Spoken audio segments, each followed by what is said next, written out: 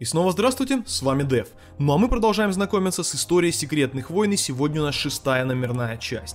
История делает прыжок на три недели вперед, то есть после того, когда Доктор Стрэндж разметал всех героев и злодеев из 616 вселенной по всему миру битв, прошло три недели. Итак, Игдрасиль, замок Дума. К нему пришла Валерия к Виктору и говорит, отец, извини, но у меня для тебя, к сожалению, хороших новостей нет. Виктору совершенно не важно какие-то новости, главные новости, потому что ситуация сейчас весьма сложная. Весь наш мир охватил полнейший хаос. Предателей и восстаний очень много.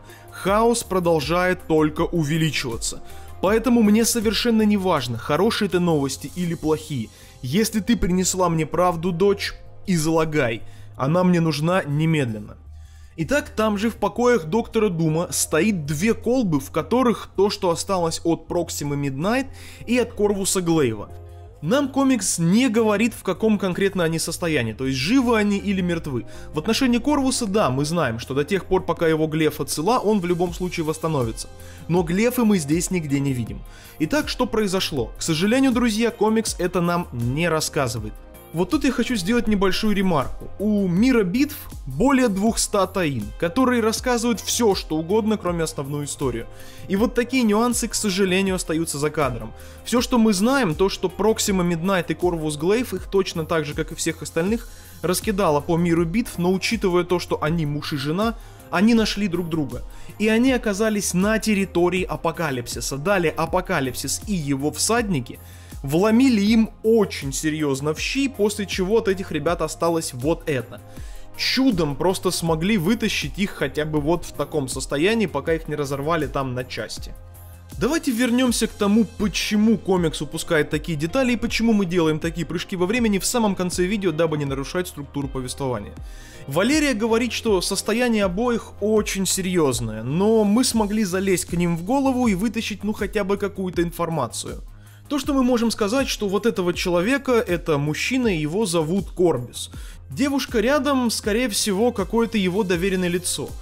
Валерия использует здесь термин прокси. Прокси это может быть как? Прокси, мы знаем, что такое прокси-сервер и все остальное. Но также прокси это доверенное лицо. А также это форма ее имени. И вот тут Дум говорит, стоп, скажи, пожалуйста, это правда? И мы выясняем, что здесь есть еще одна личность. А именно здесь Черная Лебедь. Как мы помним в прошлый раз, ее занесло как раз таки к замку Дума. И вот она здесь, при этом она не в кандалах, она не в наручниках, она просто стоит здесь, и Дум к ней обращается. Сейчас будем чуть-чуть погодя разбираться, почему вот все настолько просто. И она говорит, нет, это неправда. Мужчину зовут Корвус Глейв, а женщину зовут Проксима Миднайт. Они муж и жена. Они члены бывшего Черного Ордена генерала-тирана Таноса. И мы выясняем, что здесь есть еще один человек. Это, конечно же, Сьюзен. И она не доверяет этой девушке, она не доверяет Черному Лебедю, потому что что-то в ней не так. Где-то она темнит, что-то не договаривает. И так она обращается к Думу. Признание, любовь моя, это проявление раскаяния. Если эта девушка и воистину присягнула тебе на верность и признала, что она была не на той стороне, то почему сейчас ты должен ее о чем-то спрашивать? Почему она сразу не выложила тебе абсолютно всю правду, которая нам так необходима? И Дум сразу же ее перебивает и обрубает эту мысль. Сьюзен, эта девушка была потеряна. Она черная лебедь из другого мира – Ей потребуется некоторое время для того, чтобы понять, где она находится, кому она служит, и найти свой новый путь. Ведь, правда, ты ведь найдешь свой новый путь, дитя? И она говорит, конечно, мой повелитель, я дома.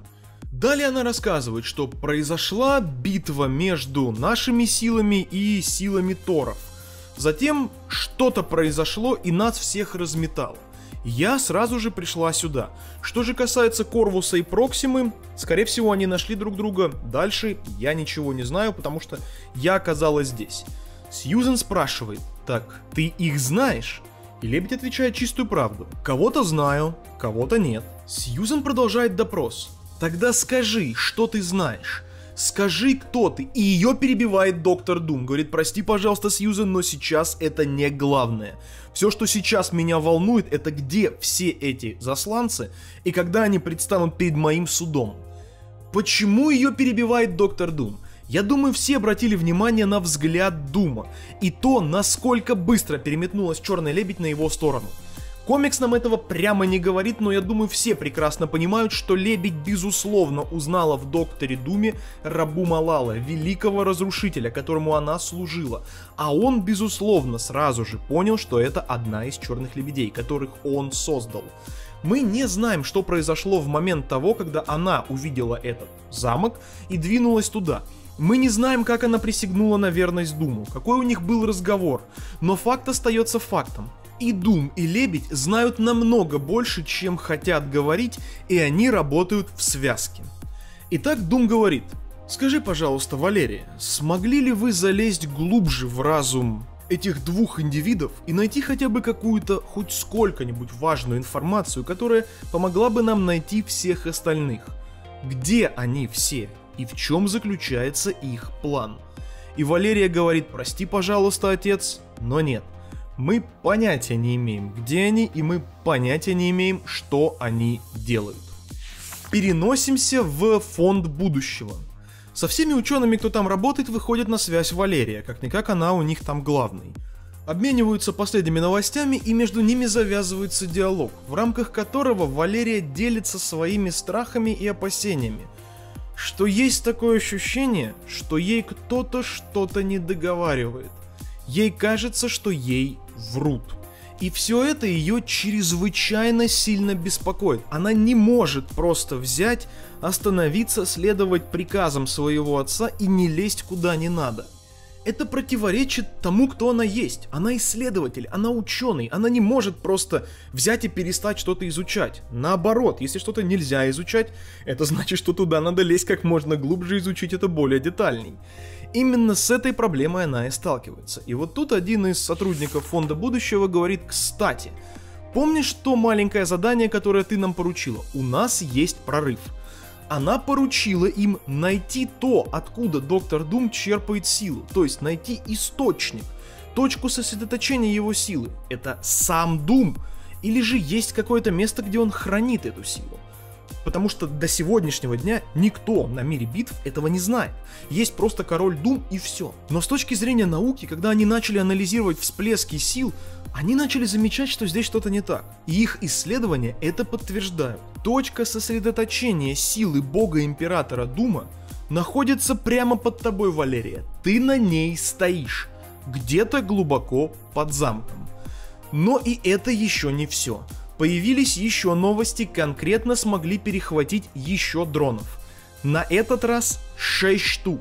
Пока что они не могут сказать, откуда появились эти дроны, что они делают, но точно по месту их расположения и по их структуре это определенные разведывательные механизмы.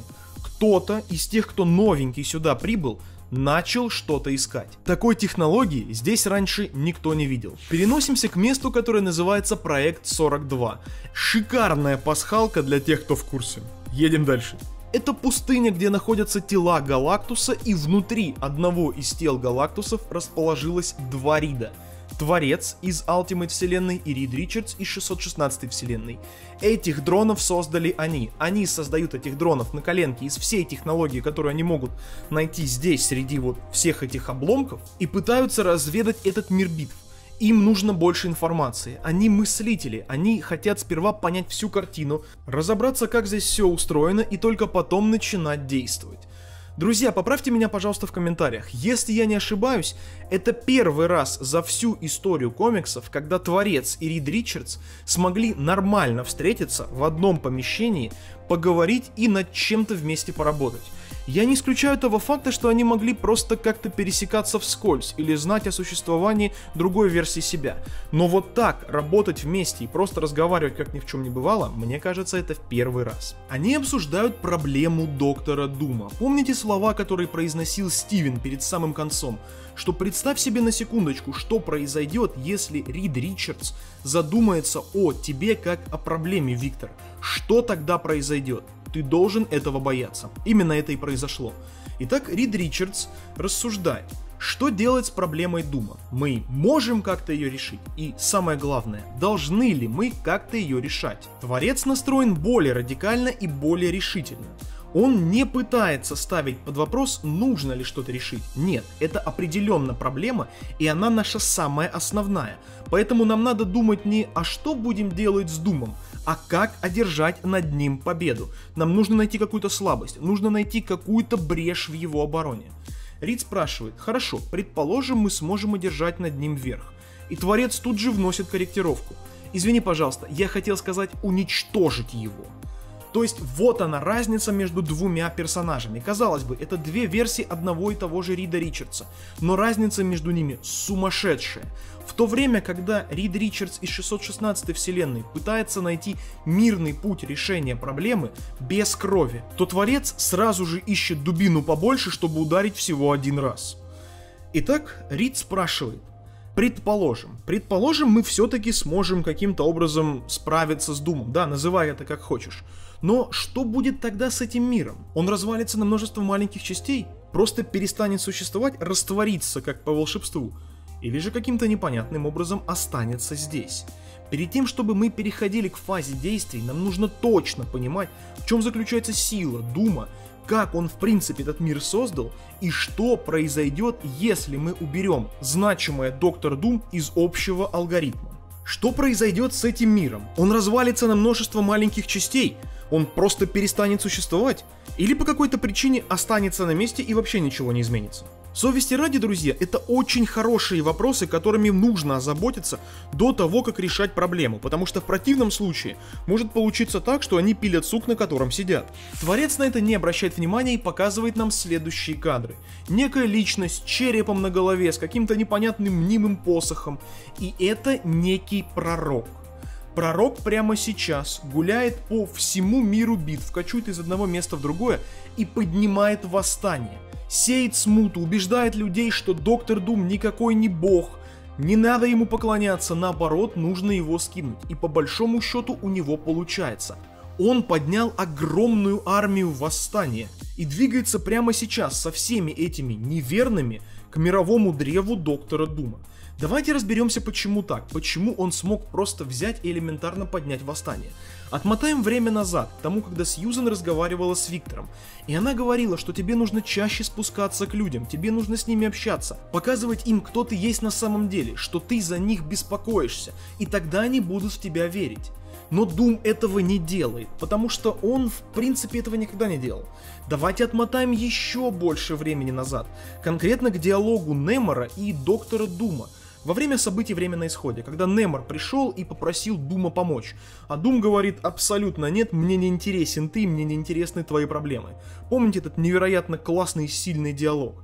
Вот Дум тогда сказал, что люди за стенами моего замка, мои граждане, мои подданные, они в меня верят, потому что я их защищаю. Они могут молиться кому угодно, верить в каких угодно богов, но каждый раз, когда они ложатся спать, они благодарят меня за то, что у них есть еда на столе и крыша над головой. Поэтому Доктор Дум, в принципе, пытается править этим миром битв точно так же, как и Латверией. Но есть очень большая разница. Мы с вами недавно закончили разбирать комикс книги Дума, и мы видели, как Виктор пришел к власти. Тогда он это понимал, тогда он ходил среди смертных и шел вместе с ними в бою в первых рядах. Именно поэтому они за ним последовали. Сейчас Виктор играет не в лидера, сейчас Виктор играет в бога. И он пытается отталкиваться от обычных догматов религии, что для того, чтобы верить в какого-то бога, тебе не обязательно видеть его каждый день.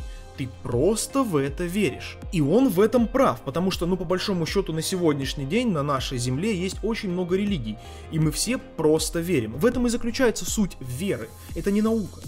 Однако в этом кроется и слабость веры, потому что если появится новый пророк, который будет говорить, что все, во что вы верили до сегодняшнего дня, это на самом деле полная чушь, и верить нужно вот в это, в то, что я сейчас вам рассказываю, если он очень убедителен, то по большому счету таким образом можно создать новую религию. То, что мы видим сейчас с вами. Я напоминаю, что когда-то было религий очень много, и люди были язычниками. Сейчас все обстоит немножко по-другому. Поэтому в данном конкретном случае то, что нужно было бы делать Виктору, это находить золотую середину между игрой в Бога и быть лидером. То есть он должен ходить среди смертных, он должен показывать свою мощность, мощность Бога.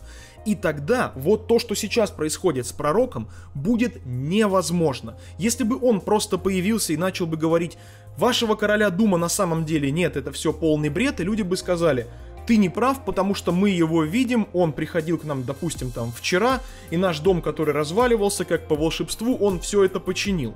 Или еще лучше, появляется пророк и начинает говорить, вашего бога Дума не существует. Доктор Дум телепортируется прямо перед ним и одним движением руки ломает ему шею, как это сделал он с циклопом. И тогда бы ничего этого не происходило. Но доктор Дум этого не делает, потому что он не бог. Он человек, а людям свойственно ошибаться. Но вернемся к нашему рассказу. Когда Творец показывает картинку пророка и говорит все, что здесь произошло, то Рит уточняет, это тоже твоя работа, то есть ты создал этого пророка? Творец не отвечает прямо, говорит «возможно», лишь возможно. Скажи, пожалуйста, мне вот интересно, если я поделюсь с тобой всеми своими секретами, своим настоящим планом, поделишься ли ты со мной своим? Хотя, кого я спрашиваю? Конечно же нет. Я бы на твоем месте не поделился. Ведь никто не сможет постичь те мысли, которые сейчас протекают в твоей голове. В любом случае, давай мы с тобой просто сфокусируемся на одной общей проблеме, которая нас с тобой и объединила, а именно, как убить Бога. И Рид вновь говорит, я повторяю еще раз, я не готов обсуждать такой исход событий. Творец снимает шлем, смотрит на свою другую версию из альтернативной реальности и говорит, слушай, я вот сейчас смотрю на твое, свое лицо и понимаю, что жизнь тебя не пощадила. Ты только посмотри на себя, какой ты мягкий, какой ты слабый. Как ты сумел таким стать, таким сентиментальным? И Рита 616 вселенной говорит очень правильную вещь, которая совершенно точно объясняет суть Творца. Все максимально просто. Тебе нужно просто взять и перестать думать о ком-то, кроме себя, и начать беспокоиться о всех остальных. Это именно то, что создало Творца, когда он потерял вот этот моральный компас, когда Сьюзен ему отказала и он съехал с катушек, начал думать только о себе. И вот это, друзья, очень важный, пожалуй, переломный момент всей этой истории. Творец выводит картинку того, как Дум, Сьюзен, Фрэнклин и Валерия шли на похороны Стивена Стрэнджа. И когда Рид Ричардс видит все это дело, он впадает в шок – Сложно объяснить эти эмоции, но лицо Сьюзен ему видеть реально больно. Он не в силах на это больше смотреть, закрывает глаза и отворачивается. Мы можем предположить, что он уже очень хорошо знает, кто находится в замке Дума, потому что как-никак у них тут дроны летают в течение трех недель и изучают абсолютно все. А Творец смотрит на его эмоции. Сложно объяснить, что он чувствует. Радость, удовольствие, или же просто научный интерес. Возможно, все вместе. Мы видели с вами, как он относится к другим версиям себя на примере новой истории Ultimates под номером 4, поэтому вряд ли он восхищается своей второй версией. Итак, Рид Ричардс из 616 вселенной берет себя в руки и говорит, давай оставим все это в стране. У нас действительно есть одна общая проблема, и это не что делать с Виктором, а это то, как именно он получил эту силу и как мы можем эту силу у него забрать. Творец спрашивает, хорошо, предположим, и как же ты собираешься это сделать? Рид говорит, что у него уже есть план. Более того, он прямо сейчас находится в действии, и его самые лучшие доверенные люди занимаются решением данной проблемы. Переносимся в замок доктора Дума к двум Человекам-паукам, Питеру Паркеру и к Майлзу Морализу. Они уже находятся в парке, где стоит памятник молекулярному человеку и доктору Стрэнджу. Слушай, чертовщина какая-то. То устройство, которое мне передал Рит, вот этот маячок, оно походу сломалось, потому что оно говорит, что источник силы прямо здесь. Если быть точнее, то 3 метра под нами. Это чушь какая-то. Здесь совершенно ничего нет, кроме статуй. И тут их окликивает голос. Говорит, дело в том, что здесь есть потайной ход. И это Валерия вновь пришла сюда подумать возле статуи доктора Стрэнджа и наткнулась на пауков. Питер Паркер ее сразу же узнает. Как только он ее видит, он тут же в шоке. Валерия, это действительно ты! Она говорит, да, а мы знакомы? И получается, что нет, они не знакомы, потому что Валерия, вот эта Валерия, она не помнит всего того, что происходило в 616 вселенной. Или же не знает, друзья. А Питер, Питер очень хорошо знает эту девочку, потому что, во-первых, он когда-то находился в составе фантастической четверки, а во-вторых, они в принципе очень хорошо дружат. И так между двумя завязывается диалог, где Питер ее узнает и говорит, это же я, Человек-паук, а Валерия говорит, понятия не имею, кто ты такой, вижу тебя впервые. Хорошо, предположим, но что ты здесь делаешь и почему ты ищешь ту же самую вещь, что ищем мы? Все очень просто, потому что, скорее всего, мы работаем над одним и тем же вопросом, а именно источник силы доктора Дума.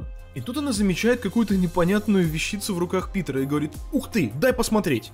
Вообще не вопрос, на, держи. Она берет этот детектор, этот датчик, анализирует его и говорит «Слушай, действительно очень интересно. И я вижу очень схожий почерк построения того, как все это дело собрано. Мне кажется, что это тот же самый человек, который собирал этих дронов. Ты знаешь, кто он? Ты знаешь, как его зовут? Питер говорит, конечно же знаю. Его зовут Рид Ричардс. И Валерия такая, хм, никогда не слышала это имя. Но передай ему, когда увидишь, что собрано достаточно грубо. Скажи, что надо браться за ум. Питер такой, а, ну, окей, хорошо. Так ты пойдешь с нами? И Валерия говорит очень интересную вещь. Говорит, последние несколько часов я сижу здесь, хотя знаю, где вход в этот источник, и думаю, надо ли мне туда заходить. Майлз не понимает, но почему нет? Валерия очень умная девочка, и ее пугает то, что она может там узнать. Уже в ее разуме появилось семя сомнения – а что если мой отец не тот, за кого себя выдает? Что если он никакой не бог? Что если все, что здесь происходит, это какое-то вранье, и на протяжении всего этого времени, всю мою жизнь, я живу в иллюзии? Поэтому вопрос остается открытым. Хочу ли я знать правду? И что-то мне подсказывает, что нет. Ну и потом давайте будем честны, я все-таки маленькая девочка, для моей психики это может быть небезопасным. Согласитесь, совершенно замечательный козырь. В любой непонятной ситуации просто поднимаешь лапки вверх и говоришь «Воу, воу, воу, я вообще-то ребенок, что вы тут с меня спрашиваете?» Итак, когда она собирается уже уходить, она показала определенно, где вход, как его открывать, вот все это дело. Она задает последний вопрос. Скажите, пожалуйста, а вы были на том корабле, который мы нашли? И Питер говорит, да, конечно, мы называем его Ковчег. Хорошо. Я должна все-таки уточнить, никто из вас не был на том Ковчеге, чьи обитатели убили Стивена Стрэнджа? Майлз не отвечает, а Питер говорит нет, конечно же нет. Валерия смотрит на Питера и говорит, хорошо, все то, как я и думала. То есть Валерия догадывается, что есть два ковчега. На одном прилетели герои, а на другом прилетели злодеи. Единственный нюанс, который она упускает, это тот факт, что Майлз все-таки был на том самом ковчеге, но он ничего не знает, даже если начать его допрашивать, он реально не знает, что это за черный орден и вообще какого черта происходит. Итак, Валерия покидает это место, а пауки спускаются к источнику силы, к молекулярному человеку. И мы тут получаем еще очень много чертовски важной экспозиции. Как только они заходят сюда, то к ним тут же обращается молекулярный человек, который все так же висит вниз головой. И он опять несет какую-то чушь. Вы чувствуете это? Тектонические плиты этого мира они как будто находятся из разных пазлов. Шестеренки не сходятся, они не притираются друг к другу. У нас нет общей единой картины и никогда не будет. Потому что все это части разных миров, которые не могут и не должны находиться вместе в едином целом. Они не подходят друг к другу. Все вот-вот развалится. Я это сто процентов знаю, потому что я поглотил все. Я сожрал всю реальность. И я все еще очень голоден. Кстати, Привет, Человеки-пауки. Майлз не знает, кто это, потому что в их вселенной, насколько мне известно, молекулярного человека не было. А вот Питер Паркер как раз таки очень хорошо знает этого парня. Он тут же его узнает. Ё-моё, Оуэн Рис, серьезно, молекулярный человек. Молекулярный человек тоже узнает Питера Паркера и говорит, да-да, это я, он самый. Скажите, пожалуйста, а вы принесли мне что-нибудь поесть? И Питер такой, ой, слушай, я понятия не имел, что ты здесь и ты будешь голодный. Если бы знал, то обязательно что-нибудь прихватил. Но у меня, к сожалению, ничего с собой нет. И тут, друзья, происходит то, на что я просил вас обратить внимание. Конкретно вот этот кадр. Когда Майлз Моралес еще находился в своей родной вселенной 1610 и оказался на крыше строения Творца, когда как раз таки крыша открылась и оттуда начал подниматься ковчег. Майлз оказался там случайно. И он говорит, ой, слушай, я совсем забыл. Да, у меня тут есть кое-что. Бургер завалялся в кармане. И он достает его и протягивает Оуэну Рису. Молекулярный человек светится от радости, прям остервенение какое-то в глазах и такой «Я должен его сожрать, давай сюда». И Майлз такой «Да-да, конечно, конечно». И вот тут, друзья, Питер Паркер звучит как голос разума. А именно, я думаю, у всех появляется один и тот же вопрос – что значит ты забыл, что у тебя в кармане есть бургер? На что Майлз говорит, ну а какая разница, я очень люблю гамбургеры, потом не забывай, что я вообще-то молодой растущий организм, я еще в пубертате, поэтому я всегда хочу есть, а тут ситуация такая сложная. Нет, нет, подожди, ты не понял меня, я не спрашиваю, почему ты любишь бургеры. Где ты его взял? Только я тебя умоляю, Майлз, не говори, что в кармане. И Майлз говорит, ну окей, нет, конечно. Я его дома взял, еще на земле, до того, когда все случилось. И тут они понимают, что происходит. Питер говорит, то есть ты хочешь мне сейчас сказать, что у тебя в кармане завалялся бургер, которому 8 лет и 3 недели? Майлз это пытается парировать, что, ну, наверное, 8 лет можно не считать, мы же находились в стазисе. И для нас так, как будто бы время вообще стояло на месте. Хорошо, но это не отменяет того факта, что это все еще трехнедельный бургер, правильно? И они сходятся с тем, что да, это трехнедельный бургер, наверное, его лучше не есть. Но когда они смотрят на молекулярного человека, он его жует за обе щеки и говорит, о боже, это просто замечательно, это очень вкусно. Давайте сделаем паузу и попробуем разобраться, какого черта здесь происходит. И вообще, зачем молекулярный человек, та сущность, которая прямо сейчас обладает всей силой потусторонних и может создавать вселенные из ничего, Зачем ему бургер, тем более трехнедельный? Я могу предположить, что ответ лежит прямо на поверхности. Ему не надо есть, чтобы питаться и подпитывать как-то свой организм полезными веществами. Ни в коем случае. Это просто психологическая хотелка. Я хочу что-нибудь скушать, чего-нибудь вкусненького. Согласитесь, у всех бывает такой момент, когда вы вроде бы не голодны, но чего-то такого хочется вот необычного. Я думаю, что с ним происходит то же самое. И эти ребята дали ему то, о чем он просил. Давайте будем держать этот момент в голове, друзья. Это будет очень важно дальше по ходу истории. Когда Оуэн доел бургер, он все еще говорит, что это было просто замечательно. Спасибо огромное. Сейчас мне намного лучше. И я, кажется, догадываюсь, что вы здесь делаете. Вы же пауки. А что делают пауки? Они ползают по паутине. Скорее всего, есть какая-то ниточка, по которой вы шли, верно? Питер говорит, ну да, наверное, да. Нас послали найти источник силы доктора Дума. Но я вижу здесь просто огромную пустую белую комнату. Ты нам не поможешь в этом? Оуэн Рис прищуривается и говорит, конечно помогу. Источник силы доктора Дума прямо перед вами. А мы переносимся вновь в замок доктора Дума к тому, как он собирает своих баронов. И они держат совет. Итак, Дум уточняет еще раз у баронессы Прайер. Как вы говорите, еще раз зовут данную личность? Она говорит, что мы о нем ничего не знаем, кроме того, что его зовут Пророк. Дум уточняет, и вы хотите мне сказать, что один этот пророк единолично устроил все эти восстания? Скажите мне, пожалуйста, если я буду очень внимательно всматриваться в данную личность, какова вероятность того, что я не узнаю в этой фигуре одного из вас? Мадлен говорит, что ее даже обижает данное заявление, потому что она всей душой и всем сердцем предана доктору Думу. Ее любовь императору богу Думу безгранично. Здесь же мы видим маэстро, и он получается лидер королевства Халков. На что он говорит, что если бы мне нужен был твой трон, бог, я бы давным-давно его забрал. Маэстро ни от кого не прячется. Сомнительное заявление, но спорить не будем с ним. Мистер Синистер совершенно прямо говорит, что в такие моменты я лучше буду помалкивать. И здесь же мы видим апокалипсиса. Он проговаривает все то, что мы с вами только что обсуждали. Что пророк на самом деле настоящий. Это не кто-то из нас, это абсолютно какая-то новая личность, которая поднимает восстание. Восстания тоже абсолютно реальные. Пока вы сидите здесь и ничего не делаете, он идет там и проповедует свои истины.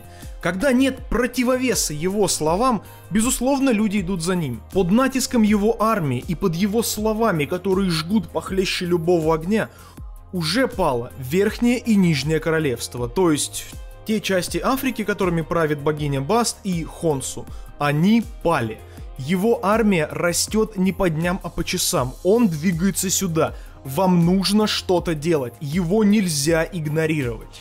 Дум к этому всему прислушивается, но также размышляет о своем. Он говорит, что он создал небеса и находится здесь постоянно, дабы не беспокоиться о том, что происходит там на земле. И опять он говорит, будь ты проклят, Стивен, что оставил меня одного со всем этим разбираться. Далее Дум спрашивает совета у Апокалипсиса. Что вы советуете делать? Естественно, что может посоветовать Апокалипсис. При этом я хочу отметить, друзья, что эта версия Апокалипсиса, это версия из эры Апокалипсиса, то есть пик его возможностей. Он тогда был абсурдно мощным, просто сломанный персонаж. Тем более, что это частично альтернативная вселенная, выразимся так. Что еще может посоветовать Апокалипсис? А именно, выживает сильнейший, причем в данном случае в самой крайне радикальной позиции. Вы бог, и само существование тех, кто ставит это под сомнение и тем более пытается идти против вас, категорически неприемлемо. Выживать и жить могут только те, кто вам верны, остальных нужно убить. Дум, не оборачиваясь, ходит по своему кабинету и продолжает рассуждать. Я тебя понял, то есть ты говоришь, что для начала нужно укрепить свою власть. Затем показать свое превосходство здесь, и я так понимаю, что ты не будешь против, если я отправлю вперед свой легион Торов, как карающую миссию. Апокалипсис говорит, что я считаю, вы обязаны так сделать. Дум с этим согласен, но зачем мне жертвовать своими самыми лояльными и самыми достойными воинами? Ради того, чтобы справиться вот с этим восстанием и с этой грязью. Почему бы вам с этим не разобраться? Как-никак, вы же владеете землей, это ваша территория. Поэтому будьте добры, разберитесь, пожалуйста, со всем этим делом так, как вы посчитаете нужным. И я хочу вам напомнить, я начинаю терять терпение и милосердие, которого у меня и так немного. Затем мы переключаемся в бар Синистера, где за всем этим наблюдает сам Натаниэль. И он это комментирует, обращаясь к кому-то, что, ну, как видишь, все прошло немножко не так, как мы ожидали. Так что будем делать? И мы видим Кэрол Денверс, Капитан Марвел, у которой во лбу появился ромбик. Друзья, это грехи Синистера задолго до того, как эту линейку даже анонсировали. Мистер Синистер что-то с ней сделал, влез в ее голову, поэтому она сейчас играет на его стороне. Он только что подчинил себе Кэрол Денверс. И они вместе начинают замышлять предательство. Они хотят воспользоваться слабостью доктора Дума и ударить тогда, когда он этого не ожидал. А именно, Синистер говорит, давай пошалим. Безумный взгляд Кэрол говорит, вот это совершенно другой разговор. Я за. Переносимся на тайный остров Агамота. И тут мы видим Немора и Черную Пантеру. Они смогли его найти только по одной простой причине, что здесь есть Немор. Этот остров невозможно найти каким-то магическим путем или же на какой-то карте. Его можно найти только глазами, поэтому Немор говорит, что им пришлось пересечь дважды океан, туда и назад. Более того, учитывая то, что они вылезают из этого кракена, то получается, что Немор подчинил его себе, и они передвигались внутри этого существа, скажем так, чтобы не плавать самому. И вот еще хороший вопрос, друзья. Как мы помним, эти двое заклятые враги. Они ненавидят друг друга. Они бились до самого конца. В конечном итоге Черная Пантера чуть не убил Немора. Тот выжил по счастливой комиксной случайности, потому что он должен был оказаться здесь, ибо на этого персонажа были дальнейшие планы. Но вот сейчас они снова вместе и работают сообща. Почему? Этот вопрос и задает Немр. Скажи, пожалуйста, Тчала, что тебя больше удивляет? Тот факт того, что мы чудом нашли это место, или мы до сих пор друг друга не переубивали? На что Пантера отвечает чертовски красиво и очень правильно. После всего пережитого за последнее время, я начинаю понимать, что уничтожение вселенной было неизбежно. И сейчас от нашего дома ничего не осталось. Ты Немор, ты король праха, король Атлантиды, который больше не существует, на планете, которой больше не существует, во вселенной, которой больше не существует. То же самое происходит и со мной. Я король мертвых. И все, что нам остается, это просто пытаться бороться в той ситуации, в которой мы остались. Нам нечего с тобой делить. Предмета нашего конфликта больше нет. Нету стран, за которые мы воюем. Нету людей, за которых мы пытаемся отомстить. Есть только мы и этот мир. А также вопрос, будет ли что-то после этого мира. И это, друзья, мне кажется, чрезвычайно классная мысль. Пантера в принципе в этой истории очень прикольный, и то, как эти двое будут дальше действовать, от себя я могу сказать только одно. Мое почтение. Надеюсь, и вам тоже понравится. И так, когда они бродят по этому острову, они находят некую дверь, на которой изображен глаз. И Немор говорит, ну, что я могу тебе сказать? Мы нашли дверь. Закрытую дверь. Тчала говорит, не забывай, у нас есть ключ. Помните маленький кулончик или же брелок, который оказался в руке пантеры, когда Стивен его телепортировал, и он сказал, запомни этот момент. Он достает этот маленький брелок, и дверь открывается. Они заходят внутрь, и посреди ничего, абсолютного полного мрака, появляется гигантская проекция головы Стивена Стрэнджа. Можно предположить, что это какой-то дух, защитный механизм, явно не искусственный интеллект, потому что Стивен это все-таки магия. Итак, данная личность обращается к ним. Здравствуйте, путники! Вы сумели найти мой Санктум Санкторум. Это значит, что ради этого ты бросил вызов Великому морю, Орде Великого Левиафана, и нашел этот сокрытый остров. Но самое главное, то что у тебя есть ключ Агамото, который ты мог получить только из моих мертвых рук. И вопрос остается открытым. Я отдал тебе его лично перед самой смертью, или же ты меня убил и забрал этот ключ у меня? Поэтому я задам тебе один вопрос – Вопрос, который прояснит твои намерения. Итак, скажи мне, путник, ты знаешь настоящий секрет этого мира? А затем произносит «Мементо море». И Черная Пантера отвечает «Иллюминатус». То есть Стивен создал это защитное заклятие специально для того, чтобы сюда смогли зайти только иллюминаты, никто другой. Я думаю, даже если бы сам Доктор Дум сюда зашел, скорее всего, он бы ничего здесь не смог найти. Возможно, сработало бы некое заклятие самоуничтожения, дабы все тайны этого места были уничтожены навсегда. Но нет, эти ребята прошли данное испытание. Итак, защитное заклятие Стрэнджа говорит «Отлично». Я надеюсь, что моя смерть была не напрасной. Какие-то вещи, к сожалению, канут в небытие. Например, воспоминания о том, как этот мир создал я вместе с богом Доктором Думом. Это будет навсегда утеряно. Но что-то останется все-таки после меня. Я оставил тебе несколько предметов, которые имеют для меня особое значение. Если быть точнее, их два – Итак, к первой шкатулке подходит Немор и достает оттуда предмет отважных.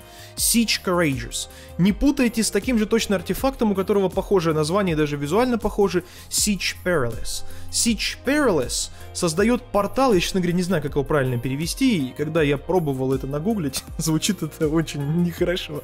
Тем не менее, это некий портал, через который, когда вы проходите, он создает для вас абсолютно новую жизнь и новую личность.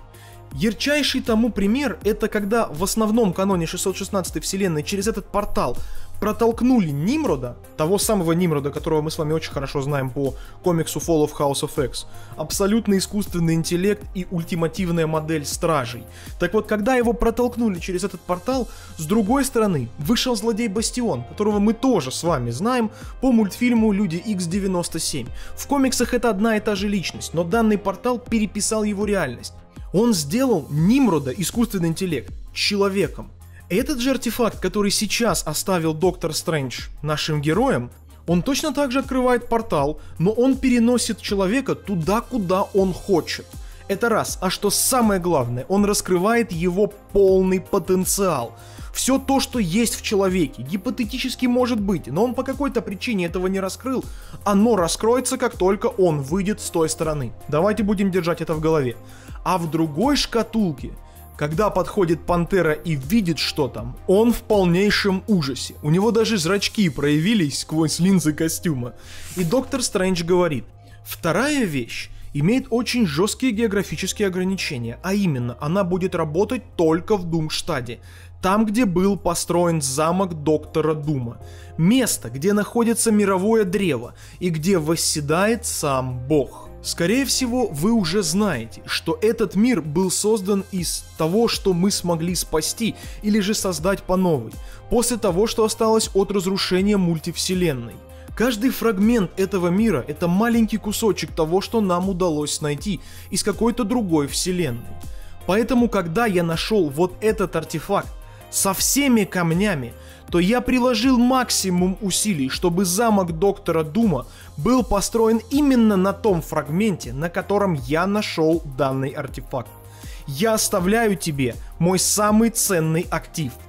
И когда Пантера достает этот предмет, это, конечно же, перчатка бесконечности.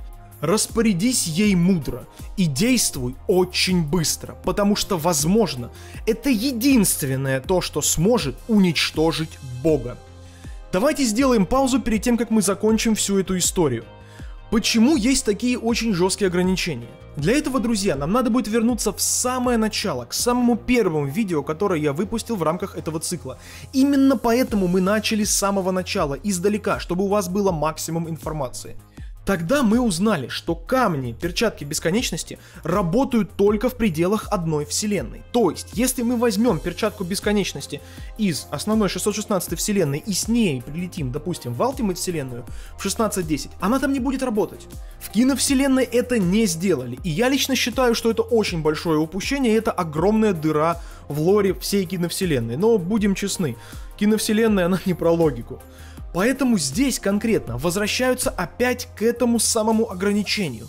То есть, когда Стивен Стрэндж и Доктор Дум летали по бескрайнему простору сущего, а именно пустоте, которая осталась после мультивселенной, и собирали те или иные клочки этого мира, то Доктор Стрэндж нашел некий клочок земли, и там была перчатка бесконечности.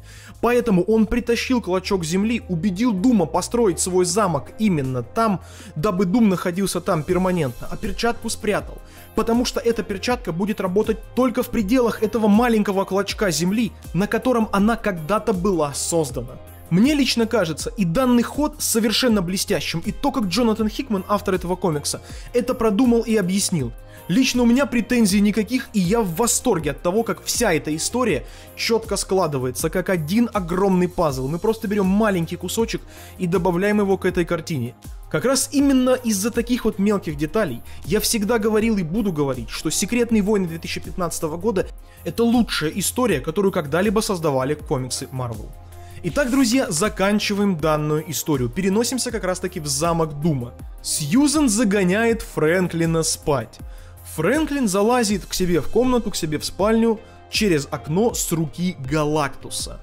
И Сьюзен спрашивает, как прошел твой день? Он говорит, ой, ты знаешь, вообще отлично. Мы с Галактусом пошли на рыбалку и даже поймали целого Левиафана. А еще ты представляешь, мы видели целый косяк этих Левиафанов. И Сьюзен такая, серьезно что ли? Слушай, ну это вообще отлично. Давайте запомним то, насколько близко Фрэнклин общается с Галактусом, что он чуть ли с ним не расстается вообще, потому что это будет дальше важно по истории. И так, когда мальчик ложится в постель, он просит, чтобы мама рассказала ему историю перед сном. И она говорит, ну хорошо, давай расскажу. Какую тебе рассказать? И Фрэнклин просит историю про фантастическую четверку. Сьюзен смеется и говорит, ну я же тебе ее рассказывала уже тысячу раз, сынок. Он говорит, да, мам, но она мне очень нравится, и мне почему-то кажется, что если ты перестанешь мне ее рассказывать каждый вечер, то я ее забуду. И Сьюзен рассказывает историю фантастической четверки. Когда-то было время, когда нас было четверо. Я, мой брат Джонатан, его друг Бен Грим и мой отец, доктор Фрэнклин Сторм. Мы все вместе отправились в небывалое путешествие – но во время этого путешествия что-то пошло категорически не так, и наш корабль потерпел крушение. Но помни, сынок, что иногда падение – это на самом деле первый шаг к небывалому и удивительному приключению. Мы изменились, все четверо, мы стали сильнее, мы стали героями, и мы защищали всю Землю. А затем наступил конец света, и появился этот мир, в котором мы здесь живем. И Фрэнклин светится от счастья, ему очень нравится эта история. Да, да, мам, конечно, и вот именно тут, тут ты познакомилась с папой, да? Она говорит, да, именно там появился твой отец и спас нас. Да, когда этот мир только-только создали, это было совершенно ужасное и темное место, очень опасное. была вечная ночь. И все, что этот мир знал, это бесконечная война. Именно там погиб твой дедушка. Мой отец, в честь которого я тебя и назвала. Фрэнклин Сторм. И мы бы тоже погибли в этом бою. Но нет, появился слепящий, ярчайший свет. И это был твой отец. Он создал мир из ничего. Он создал мир, который был всем. В этот день фантастическая четверка перестала существовать. Можно сказать, она погибла вместе с моим отцом. Твой отец помог мне похоронить твоего дедушку, а затем мы с ним вместе начали править этим миром и наводить в нем порядок. А твой дядя Джонни стал солнцем, чтобы разогнать вечную ночь и дать нам всем свет. Фрэнклин спрашивает, а что случилось с дядей Беном? Ты никогда об этом не рассказывала. Она говорит, конечно, конечно не рассказывала, сынок, потому что это уже совсем другая история, и я тебе когда-нибудь расскажу ее, когда ты станешь старше. Что случилось с Беном Гримом, нам рассказали прямо здесь, в этом же комиксе. Но я считаю, что информацию дали совершенно не вовремя. Она должна появиться намного, намного позже, дабы не нарушать структуру повествования и добавить эпика. Я же ставлю перед собой задачу рассказать вам историю максимально эпично и максимально структурированно. Поэтому что случилось с Беном Гримом, мы узнаем с вами, друзья, в следующий раз. Перед тем, как мы закончим все это видео, давайте попробуем проанализировать все рассказанное Сьюзен своему сынишке Фрэнклину, потому что ее рассказ переворачивает практически все понимание доктора Дума и его семьи в этом мире битв. Это не оригинальная Сьюзен Сторм из 616 вселенной. Это какая-то Сьюзен Сторм из вселенной, в которой Рида Ричардса не было. По какой причине его там нет, совершенно не важно. Но важно то, что четвертым в этом полете был ее отец, Фрэнклин Сторм. Мы его видели, вот это вот большой человек с усами, у которого руки светятся фиолетовым. То есть у него даже способности были другие. Он вообще никак не похож на Рида. И вот Доктор Дум спас именно эту версию Сьюзен. Валерия и Фрэнклин — это не дети Рида Ричардса. Их полное имя Валерия фон Дум и Фрэнклин фон Дум. Это биологические дети Виктора и Сьюзен. Почему их так зовут? Мне лично кажется, ответ лежит на поверхности для того, кто неплохо знаком с историями фантастической четверки и Доктора Дума. Либо же для тебя, мой дорогой зритель, который внимательно смотрит все видео здесь на моем канале. Валерия — это первая любовь Доктора Дума, поэтому, скорее всего, он назвал дочь в честь девушки, которую он полюбил больше всего, еще будучи ребенком. А Фрэнклин, банально Сьюзен, назвала своего сына в честь своего героически погибшего отца. Все мы, когда читали этот комикс по мере выхода его в печать в 2015 году, все предполагали, что Доктор Дум спас Сьюзен Сторм с детьми, и с Беном, и с Джонни Штормом, вообще всю фантастическую четверку, которая погибла во время последнего сопряжения, и стер им память. По какой-то причине Джонни взбунтовался или что-то пошло не так. И он сейчас забрал то, что принадлежало Риду Ричардсу себе. Не в этом случае. Сьюзен Сторм встретила человека, который появился буквально во время конца света и спас ее от неминуемого конца. Ее родной мир был уничтожен, все было уничтожено. Но Доктор Дум спас ее, ее брата и их товарища, Бена Грима. Также он забрал тело ее отца и помог ей похоронить его со всеми почестями. Она вышла замуж за своего спасителя. Она действительно видит в Докторе Думе прекрасное. Когда она сняла с него маску, это не была промывка мозгов. Она одна из немногих, или, пожалуй, единственный живой на данный момент человек, на этой земле, кто знает, что на самом деле находится под маской доктора Дума, и я не говорю про внешность его душу, его внутреннее состояние и то, кто он есть на самом деле. Если, естественно, совершенно внезапно не появится Рид Ричардс и не начнет лезть не в свое дело. А вот на этом, друзья, я думаю, точно можно заканчивать это видео. Да, получилось много, получилось очень много экспозиции, но это действительно переломный момент, потому что дальше у нас финишная прямая. Ну а на этом мы будем заканчивать это видео. Если оно вам понравилось, поставьте ему лайк. Мне будет приятно, каналу полезно. Если вы хотите узнать, что будет дальше в событиях Секретных войн, я напоминаю, что нам осталось всего три части, то подпишитесь на канал и не забудьте нажать на колокольчик, дабы не пропускать уведомления о следующем видео. Как всегда, я хочу напомнить, что приветствую любую конструктивную критику. Связаться со мной очень просто, это можно сделать либо в комментариях к этому ролику здесь на YouTube, либо через мой телеграм-канал. Там я публикую все будущие анонсы по каналу, различные комиксные новости, вариативные обложки, а также всяческие арты.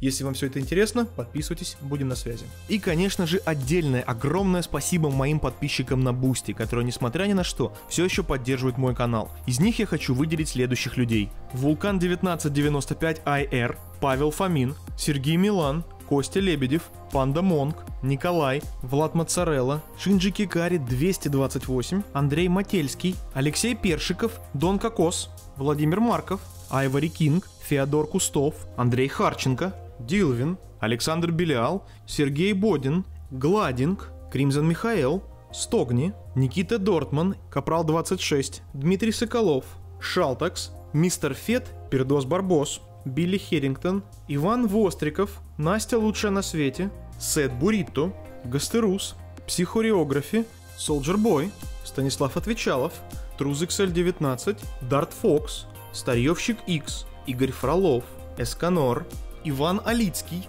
Ультраправедник, Анзен Ли, Nightwing, Мистер Рагнас, Тарантул Джон, Коля Романов, Ханза Скорпи, Валерий Самсонов, Ремонт рулевого управления, Доктор Найт, Дислеер, Александр Кулаков, Кузнецов Илья, Морской Кетик, Кирилл Шуклинов, Андрей 2099, Флекс Салютер, Арт Лаус, Рома Башенхаев, Илья Облов, Мистер Кот Бегемот, Смоуки, Хелл Хелл, Панда 20К, Omega Sentinel, Георгий Мартынов, Данила Соболев, Дейрагон, Василий Емшанов, Ридл Каст и Гендудза. Спасибо вам большое, друзья, вы самые лучшие. Также хочу напомнить, что на Бусте есть ранний доступ к видео, поэтому этот ролик они уже посмотрели, а сейчас смотрят что-нибудь новенькое. Также на определенном тире подписки есть аудиообзоры на комиксы, которые не попадают в видеоформат. Ну а на этом, я думаю, точно все. Благодарю вас за просмотр. Умейте радоваться мелочам и не отказывайте себе в удовольствиях. Всего доброго.